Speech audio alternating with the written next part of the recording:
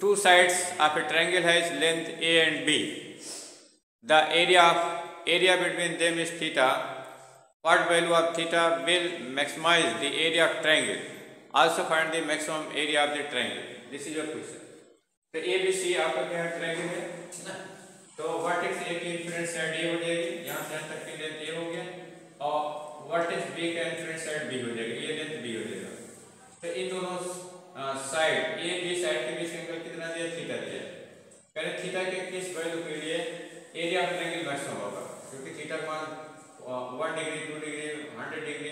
Ninety degree कुछ भी हो सकता है ठीक है फोर्टी फाइव डिग्री तो थीटा के किस वैल्यू के लिए एरिया ऑफ़ ट्रायंगल मैक्सिमम होगा? ये चीज़ आपको बताना है, ना? तो एरिया को मैक्सिमाइज करना है, ठीक है? तो हम इसके लिए क्या करेंगे? एरिया पहले निकालेंगे। In terms of A B and theta in terms of A B and theta ना? तो एरिया ऑफ़ ट्रायंगल क्या होता है? बेस इनटू परपेंडिकुलर तो अगर हम बीसी को बेस मान लें तो इसका परपेंडिकुलर निकाल लें और परपेंडिकुलर जब मिल जाएगा तो बेस इनटू परपेंडिकुलर से एरिया मिल जाएगा ना तो ये यहाँ ए से हमने क्या किया वर्टेक्स ए से बेस पर हमने नॉर्मल ड्रा कर दिया है तो नॉर्मल परपेंडिकुलर ड्रा कर दिया तो परपेंडिकुलर की जो लेंथ होगी एम की जो लेंथ होगी वो वो आपका परपेंडिकुलर बन जाएगा तो एरिया ऑफ़ ट्रायंगल कितना हो जाएगा तो in right triangle in right triangle in right triangle A M C A M C है हमको क्या करना है ए एम की वैल्यू निकालना है क्योंकि ए एम हमारा क्या परपेंडिकुलर है ए क्या है ए एम क्या है परपेंडिकुलर है ये बेस है तो one by two base into perpendicular area होता है फिर right angle A M C A M upon A C क्या हो जाएगा? साइन थीटा हो जाएगा, ना? तो यहाँ से ए एम इक्वल क्या हो जाएगा? ए सी साइन थीटा ना? तो यहाँ से ए एम इक्वल कितना हो जाएगा? ए सी वैल्यू क्या बी बी साइन थीटा हो जाएगा।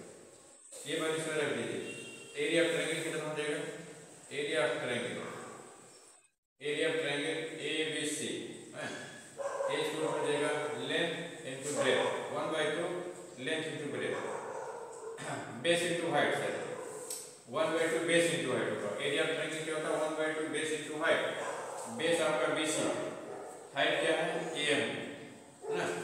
तो 1 बाय 2 BC की वैल्यू A है. AM की वैल्यू B sin ये आपकी एरिया होगी है ना?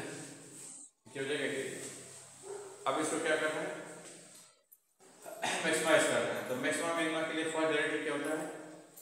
ज़ीरो मैक्सिमम मिनिमा के लिए फ़र्स्ट डेरिवेटिव क्या होगा? ज़ीरो होगा। तो इसका फ़र्स्ट डेरिवेटिव निकाल लीजिए। विद रिस्पेक्ट टू वेरिएबल तो यहाँ वेरिएबल क्या है? थीटा वेरिएबल क्या है? थीटा तो थीटा के रिस्पेक्ट में इसका, इसको डिफरेंशिएट कर दीजिए। तो क्या मिलेगा बताओ? D A by D theta D by D theta equal to A B upon two D by D theta of sine theta क्योंकि ए बी और टू कांस्टेंट है।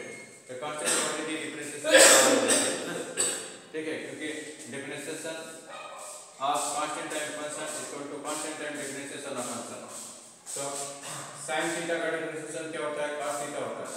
तो cos थीटा हो जाएगा ये हो आपका dA by dt हो गया ना। तो for maxima and minima for maxima and minima तो मैक्सिमा मिनिमा के लिए क्या बनेगा?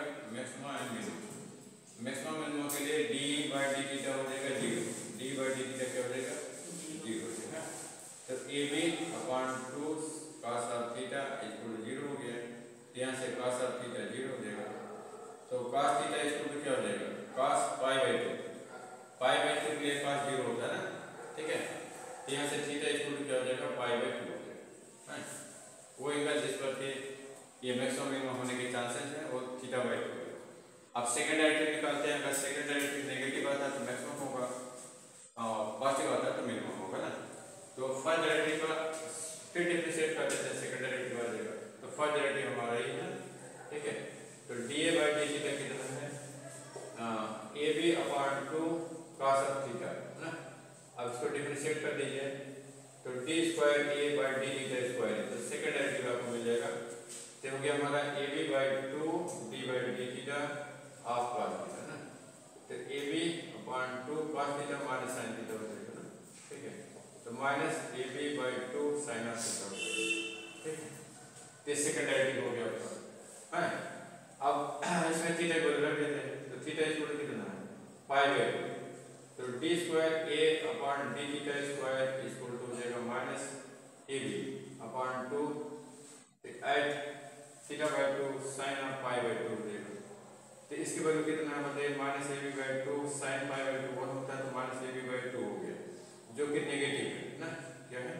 नेगेटिव अगर सेकेंड एंगल नेगेटिव होता है तो क्या होता है? फ़ंक्शन मैक्सिमम होता है यहाँ फ़ंक्शन क्या एरिया इसलिए एरिया क्या हो जाएगा? Area of triangle area of triangle is maximum area of triangle triangle is maximum is maximum maximum height to pi by 2 theta is equal to pi by 2 क्या maximum है? इसका मतलब triangle must be right angle है? Triangle क्या होना चाहिए? Right angle होना चाहिए और maximum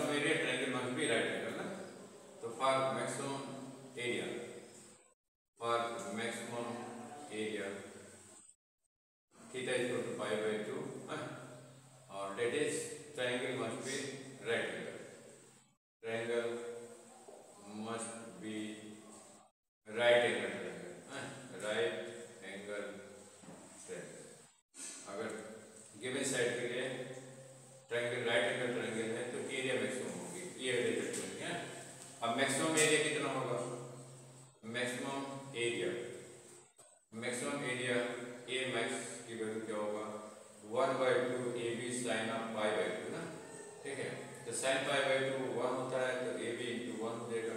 So 1 by 2 AB. Here P maximum area. Okay. A.